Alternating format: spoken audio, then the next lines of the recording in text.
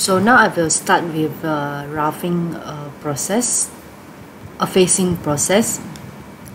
So I will get the turning cutter. So this is the cutter name. And this one 80 degree diamond shape. And the tool holder is this. And we try this one, the uh, tool uh, tool tip orientation on the left side. And the tip radius the diameter and thickness is this. Okay this is the values and then click ok for the cutter. So next I will get the procedure. And turning. So rough volume turn contour thread and lathe drill. So there is uh, five options here. So I will get the rough and then I will go to this uh, contours.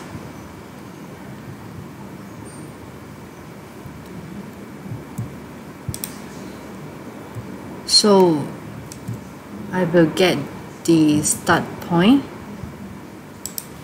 Modify the start point to here this point and then end point will be here.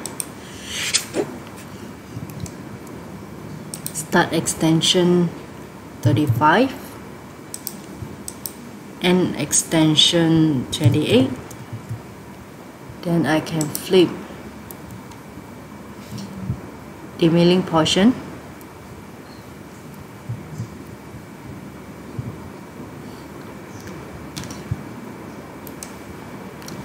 okay then I will select this cutter. Next I will access to the tool trajectory.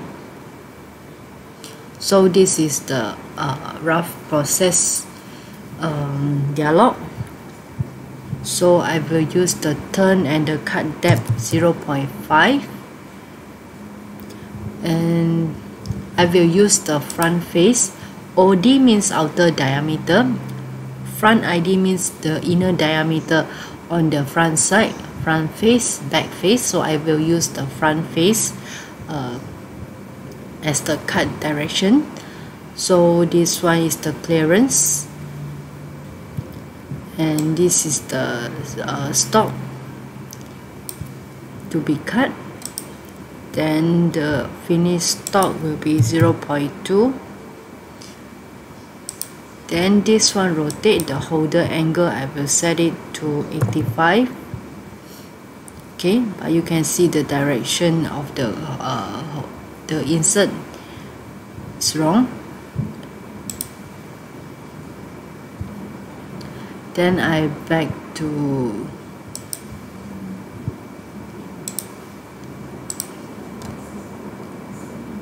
this cutter. So double click and I will change the tool tip orientation. Okay.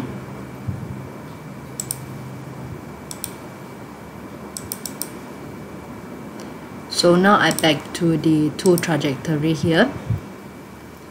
So under this rotate I will reset it. Then I will set 85 again the holder and OK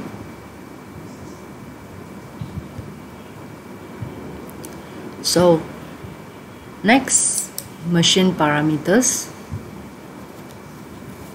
So I will get uh, this constant surface speed. It means the smaller the diameter gets the bigger spindle speed becomes. So the uh, surface speed I will set it 1200 and the max speed uh, will be 8000 then save and calculate.